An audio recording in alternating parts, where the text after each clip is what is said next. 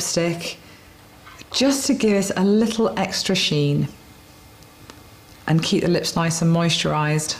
And that completes our look.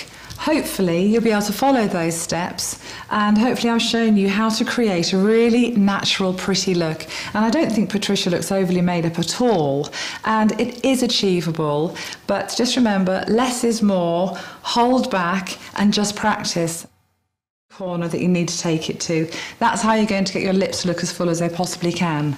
Right, so now we go from the bottom and again I'm going from the corner right from the bottom corner and joining those sides up. From the corner, demarcation lines, similarly with the nose there. I'm now going to take another flat tone, not shimmery because I've also, this isn't shimmery so I'm keeping the whole thing matte, in a kind of browny tone which is going to contour the eye area in the socket. So I'm choosing a brush like this, which is a nice soft domed